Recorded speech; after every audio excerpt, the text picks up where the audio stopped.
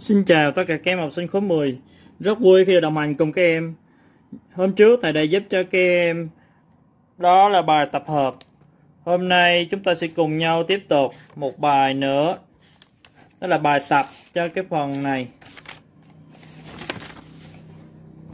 Câu hỏi và bài tập. Bắt đầu ở câu 22 Nằm ở cuối trang 20 Chúng ta cùng nhau làm việc.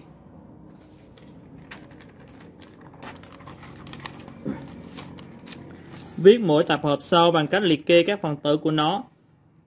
Tập hợp thì có hai cách để cho nhé. Thứ nhất là chỉ ra tính chất đặc trưng, thứ hai là liệt kê. Như thế này gọi là chỉ ra tính chất đặc trưng này bây giờ chúng ta còn liệt kê nhé.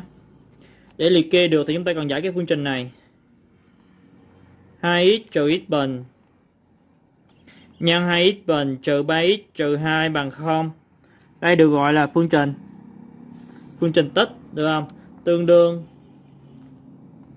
2x trừ x bình bằng 0 2x bình trừ 3x trừ 2 bằng bằng 0 bấm cho thầy là mút 53 ha.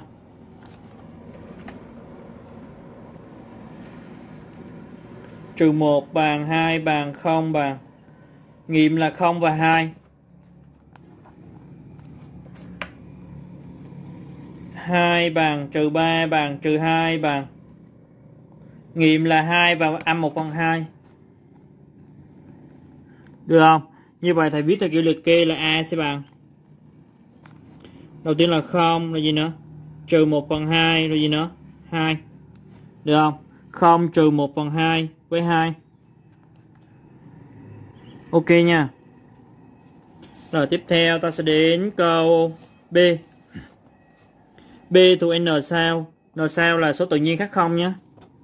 Hoặc là số nguyên dương á. N bình lớn hơn 3 bé hơn 3 chục. Thì B được viết là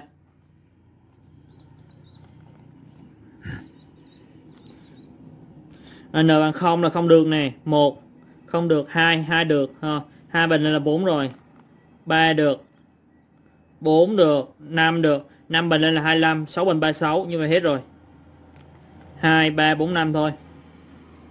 Rồi tiếp theo ta sẽ đến nội dung của câu 23 viết mỗi tập hợp sau bằng cách chỉ rõ tính chất đặc trưng cho các phần tử của nó. Bây giờ sẽ làm ngược lại nhé. Cho tập hợp rồi yêu cầu là phải chỉ rõ tính chất đặc trưng. Câu 23A A bằng 2, 3, 5, 7 Đây chính là tập hợp số nguyên nguyên tố. Là tố số tự nhiên lớn một và chỉ có hai ước là một và chính chính nó đúng không? 2, 3, 5, 7 như vậy. X là số nguyên nguyên tố nhé với điều kiện là x sẽ lớn hơn hoặc bằng 2 bé hoặc bằng 7 câu B B bằng trừ 3 trừ 2 à, ờ, trừ 1 0 1 2 3 như vậy đây là tập hợp số nguyên ha. x thuộc z. Sao cho trừ 3 biến bằng x bé hơn bằng 3 được không? Còn ở đây là tập hợp số gì? À, số chia hết cho 5 ha c bằng. Chia hết cho 5 thì nó sẽ ra là à, 5k đi ha 5k với điều kiện là k phải thuộc.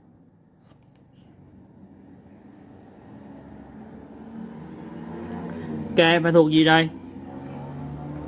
K là thuộc uh, thuộc thuộc cái gì đây? Thuộc cái gì đây? Thuộc cái gì đây? Thuộc z. Nha k thuộc z.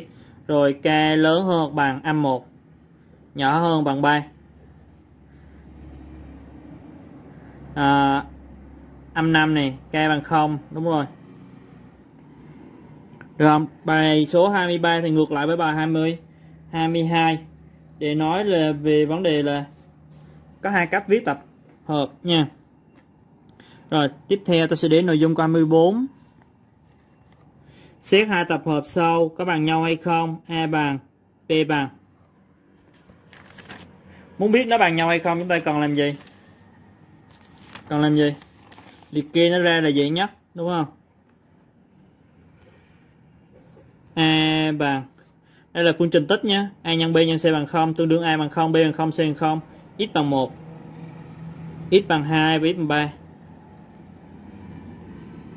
được không? 1 2 3 còn tập hợp P thì sẽ bằng là 5 3 1 rõ ràng là không bằng nhau nhé. Cái hiệu là A khác khác B.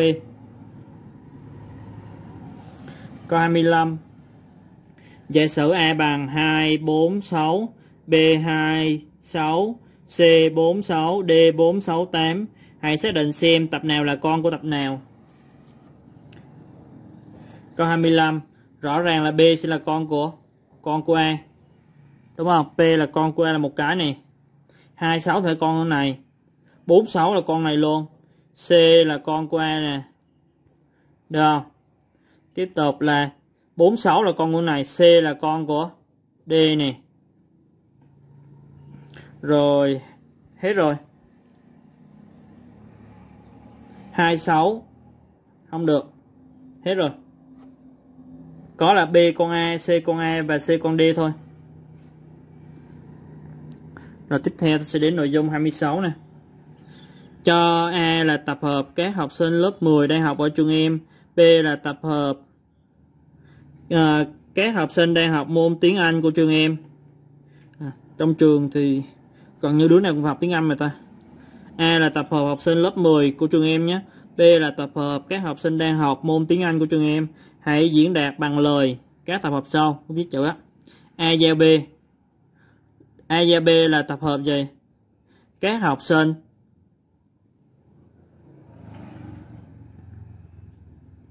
các học sinh gì? Vừa học lớp 10, vừa học tiếng Anh của trường em. Được không? Được không? A hiệu B có nghĩa là thuộc A mà không thuộc thuộc B. Nhớ A hiệu B là thuộc A mà không thuộc B là tập hợp các bạn học sinh lớp 10 mà không học tiếng Anh. Ha. Lớp 10 mà không học tiếng Anh của trường trường em. Được không? A hợp B là tập hợp tất cả các bạn học sinh khối 10 hoặc các bạn học tiếng Anh của trường em. À lấy luôn cả những bạn học tiếng Anh lớp 11, 12 luôn. À, còn lớp 9, lớp 8 nữa. Chưa biết trường này có mấy lớp nữa. Tiếp tục B hiệu A là tập hợp các bạn học sinh học tiếng Anh mà không phải là học sinh lớp 10 à, A hợp B là họ A cho B là về thằng A hiệu B là thuộc A không thuộc B. B hiệu A là thuộc B không thuộc A được không rồi tiếp tục ta sẽ đến ờ, uh, 27 ha. Nội dung 27 như sau. Gọi A là tập hợp uh, tứ giác lồi. B là tập hợp hình thang. C là hình chữ nhật. D là à, xin lỗi C mới là hình hành thôi. D là hình chữ nhật. À, E là hình thoi và F là hình vuông. Hỏi tập nào là con của tập nào hãy diễn đạt bằng lời?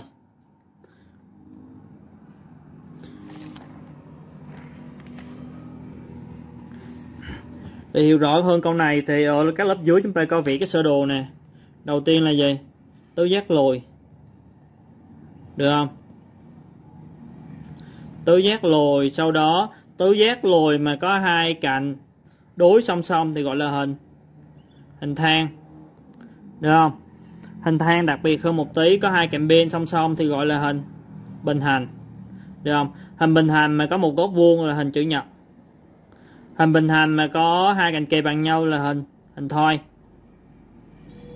Hình chữ nhật có hai cạnh kề bằng nhau thì là hình hình vuông hình thoi mà có một góc vuông là hình vuông.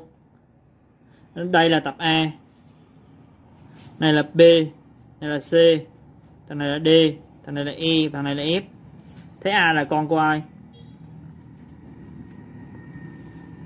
Đứa nào là con của đứa nào? Giống như thằng này đĩa đĩa đĩa đĩa đĩa lòn ra, trong đó thằng này là nhỏ nhất. Thôi, giống như dòng họ vậy thôi. Trong đó thằng thằng cháu. Thằng cháu sẽ là hình vuông nhé thằng hình vuông là thằng ờ, nhỏ nhất. F là con của D. Được không D là con của C. C là con của bò. Bò là con của A. Được không? F là con của E. E là con của C. C là con của bò. Và bò là con của của A. Ổn không? Hãy biểu diễn thành lời tập. D giao E. D giao E là, D giao E là lấy những cái tính chất chung thôi của hình gì? Hình chữ nhật với lại hình hình thoi. Như vậy tính chất chung của hình chữ nhật với hình thoi sẽ ra là hình. Hình gì? Hình bình hành. Đúng không? Tính chất chung của hình chữ nhật với hình thoi là hình bình hành như vậy, D giao E là tập hợp các hình bình hành. Được không? Rồi, xong câu 27 nhé. Tiếp theo sẽ đến nội dung của 28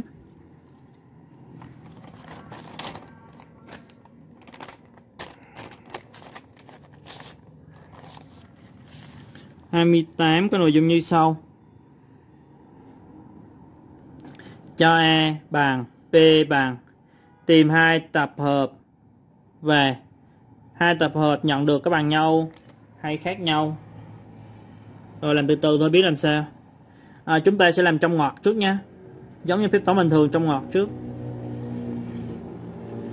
A hiệu B bằng thuộc A mà không thuộc B là số 5 đúng không B hiệu A thuộc B mà không thuộc A đó là số 2 được không từ hai này suy ra A hiệu B hợp với B hiệu A thì nó sẽ bằng, hợp là lấy hết hợp hết 2 năm rồi, tiếp tục A hợp B A hợp B là chúng ta sẽ lấy hết, ha. 1 2 3 và và 5. A giao B. A giao B thì lấy những thằng chung thôi nhé. Thằng chung là 1 hàng chung tiếp theo sẽ là 3. Được không? Rồi từ hai này suy ra A hợp B hiệu D cho A giao B bằng lấy thuộc A hợp B mà không thuộc này bỏ 1 với 3 ra còn 2 với 2 với 5 Được không? Như vậy chúng ta sẽ có là hai tập hợp nhận được có bằng nhau hay không? Thì trả lời là hai tập hợp nhận được bằng bằng nhau. Nghe, bằng nhau nghe. Rồi hai bài nữa thôi là kết thúc uh, bài tập ngày hôm nay rồi.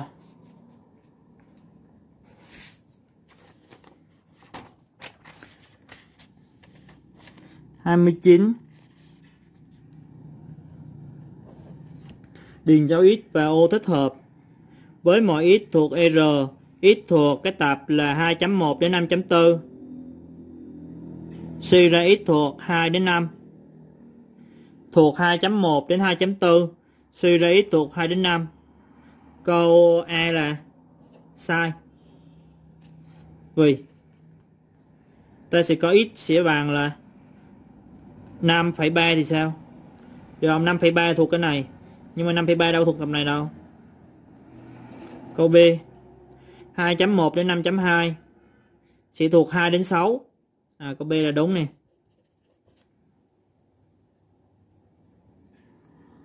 Bạn vẽ cái trục số đó bạn thấy à. Câu C. À, trừ 1.2 đến à, 2.3 này sai nhỉ Rồi x sẽ là bằng à, không không chưa chưa chưa. À, đúng rồi này sai đúng rồi. À, trừ 1,1 trừ 1,1 thuộc tập này nhưng không thuộc tập này. Tiếp theo sẽ đến câu D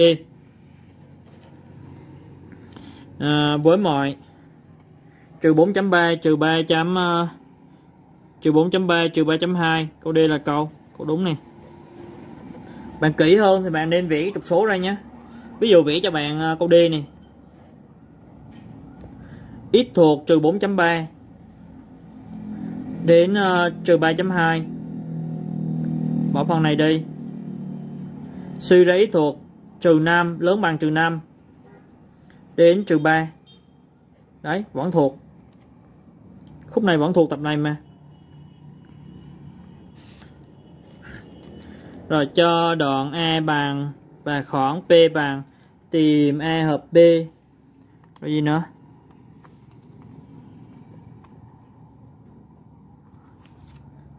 A hợp B, A giao B. Vẽ trục số ra là thấy dễ dàng nhất, đúng không?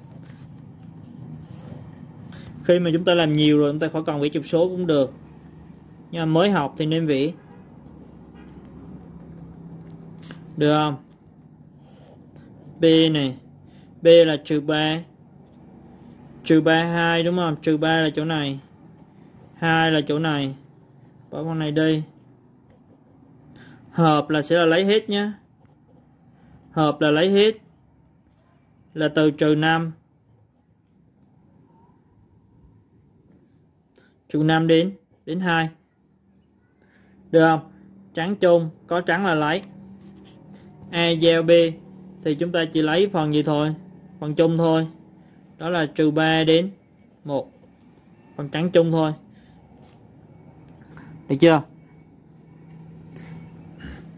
Như vậy tất cả các bài tập liên quan đến bài tập tập hợp đó, đến đây là kết thúc.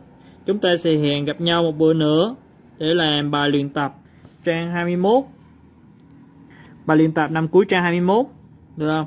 Xin chào tất cả các bạn.